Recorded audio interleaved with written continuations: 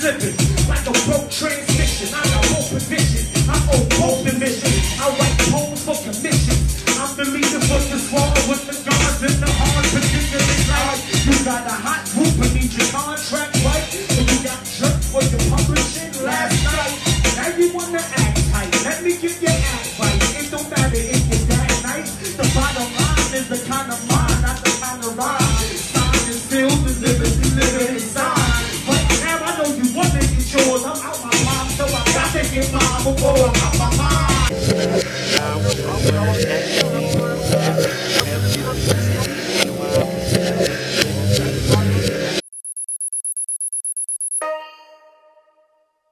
Black Moon, a hip hop group formed in the early 90s, originally featuring Buckshot, 5FT, and DJ Evil Dee.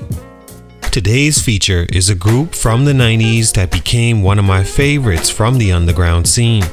Their music is highly respected in that space, and one listen to their latest Rise of the Black Moon album released in 2019 will help you understand why. Their lyrical skill as artists that's been around 30 plus years is still flawless in delivery, subject matter, and creative originality.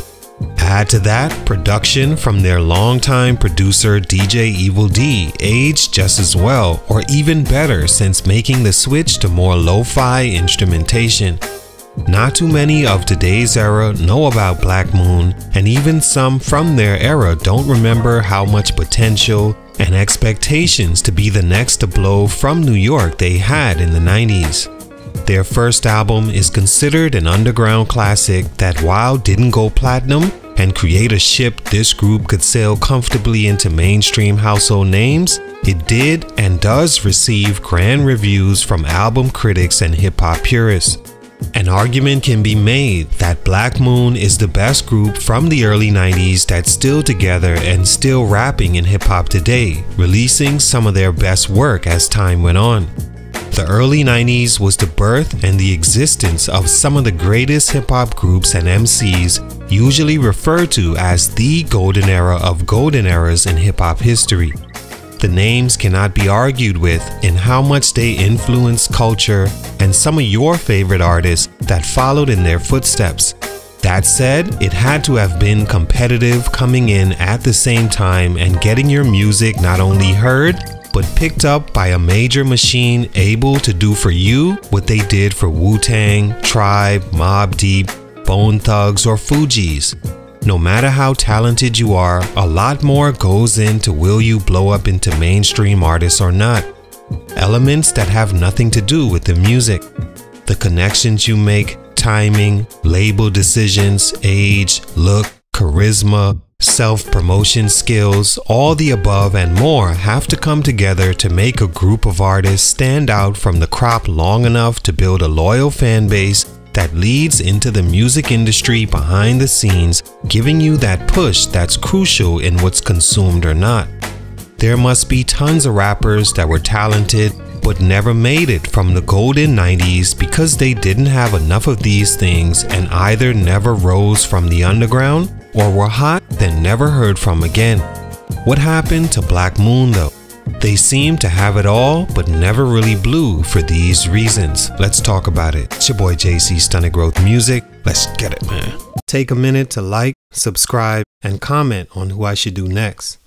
Black Moon is a hip hop rap group from Brooklyn, New York that consists of 5FT as he's known and DJ Evil Dee from Bushwick who met each other in high school and formed a rap group together but didn't gain traction until adding third member Buckshot from Brownsville, who became the standout rapper in the group, known for his witty, braggadocious bars of how much better than you he is as an MC. With Evil Dee as their in house producer and 5 Foot and Buckshot rapping, the formula for success was in place. In 1992, still late teenagers, the group drops what would be their biggest single to date, Who Got the Props, an underground hit where Buckshot took over every verse and kept the hype throughout on Evil Dee's classic 90s boom bap sound. It peaked at 86 on the Billboard 100 and led to them signing a record deal with the local New York based label Nervous Records. Stunt number one Staying Local. In my opinion, whether parties involved might admit this or not, Black Moon signing a deal with a local independent startup like Nervous Records without the adequate resources, connections, and cash on hand as bigger labels was a huge reason why they never were seen as mainstream artists. Independent in those days is not what it is today. Nowadays, the right artist that goes independent has a good team in place and, of course, makes great music, can flourish in today's climate. But back then, going independent almost certified you'll eventually become known as an underground artist. A word that really means trapped in a space with a very low ceiling and no doors to get out that open from the inside. When Who Got the Props dropped, Black Moon were hip hop's new and fresh thing. The song was top 100 on the charts, leading to their signing to Nervous instead of playing it out a little longer to see if they could land a bigger label deal with a much bigger machine.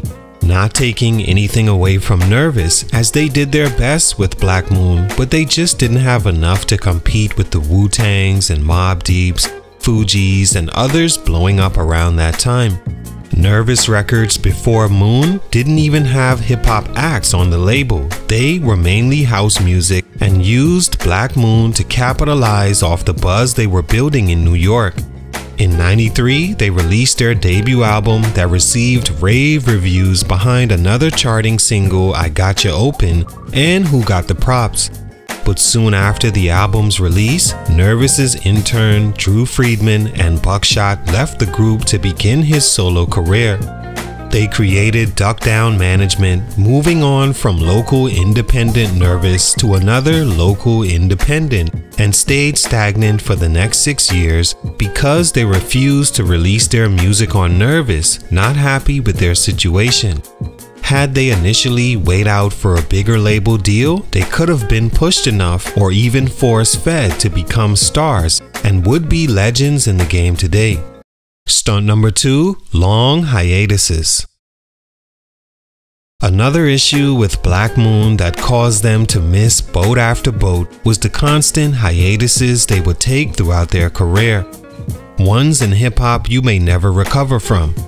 The first was due to legal battles with Nervous Records after they decided to leave and start their own thing. From 93 to 99, the only Black Moon release was in 1996, a compilation album of B-side tracks from the group that they never authorized to be released. While a back and forth went on, the group itself had to wait six years before they were cleared to drop their sophomore album. Needless to say, the hip hop rap landscape had completely changed by then, and the 90s boom bap style was getting ready to be shifted and reshaped to fit the modern generation. Taking prolonged breaks is an unwritten element in hip hop that most times doesn't end in the artist's favor. Unless you're someone who's had mainstream success and has a fan base as loyal as, let's say, Kendrick Lamar. But this was only the first. After their sophomore album release, album 3 wouldn't come out until four more years later, and their fourth and latest album didn't drop for 16 years. For a group without a mainstream start, label issues leading to prolonged breaks, they had no choice but to become an easily forgotten group in hip hop. Stunt number 3 Making Hits. One lifeline for rap artists in any situation is to focus on the music. Hits are a part of the game. It's what separates a group like Black Moon from a competitive era like the 90s, once you've proven you can make them. But with Black Moon, they didn't have that chart topping sound to them and became buried under other groups and artists of the era that were making those hit records that played on radio and everyone's boombox in the streets. Black Moon had a few singles here and there, but they were never considered to have what it took to make the conventional hit song, and that made them really fly under the radar. Rappers like to use the phrase keeping it real and take pride in the fact they never had to cross over for the hit song. But in the end, if you ask them, if given the chance, would they work more on their universal presence instead of staying local and keeping it real, they will all choose to have the ability to make a hit. I say have the ability because a hit song is not some faucet you can just turn on when needed. Black Moon seemed to almost take pride in being underground, and that's fine. Without hit records, they really had no choice. All in all, Black Moon was a dope hip hop group. They managed to stay in the game this long and to me are releasing their best music as of late. They had a shot at becoming familiar voices and faces in hip hop, but for these reasons, their growth was stunted. Salute to Black Moon, much respect. It's your boy JC Stunted Growth Music, and I'm out.